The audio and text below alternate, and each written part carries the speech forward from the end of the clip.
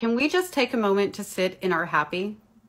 Can we take a moment to breathe in our happy, to embrace feeling good and peaceful and safe? Can we take a moment before we create chaos?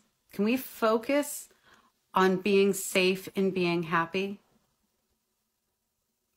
For me as a child growing up, and I'm sure this is the same for so many of you, Happy represented a very temporary place that was always followed with abuse. The more content or peaceful or doing well that I was, the more emotionally violent my mother would be. How does that affect us when we're healing in our adult life, when we're struggling to heal?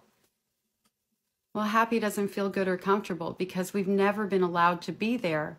We've never been allowed to sit in it, enjoy it, or feel worthy of it. So let's take a moment and very consciously sit in our happy. We're safe now.